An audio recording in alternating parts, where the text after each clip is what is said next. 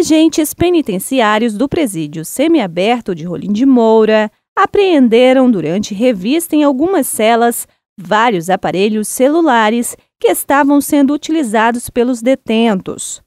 Os aparelhos foram encontrados dentro de fundos falsos de vasilhas. Durante a revista de rotina, que é feito alternadamente, né, foi entrar dentro da cela e foi verificado nos potes que o celular tinha o celular se encontrava todos no fundo falso do pote.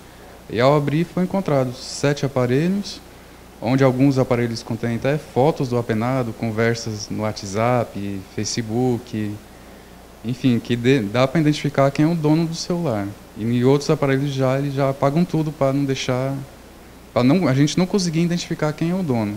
Somente este ano foram apreendidos 12 aparelhos em poder dos detentos. Há suspeita de que os detentos estivessem, além de encomendando drogas, comandando algumas ações criminosas de dentro do presídio. O risco do celular dentro da cadeia é justamente isso. Inclusive, semana passada foi jogada certa quantidade de droga, até considerável, para dentro da unidade que com certeza foi encomendado por, pelo telefone alguém de fora vir e jogar.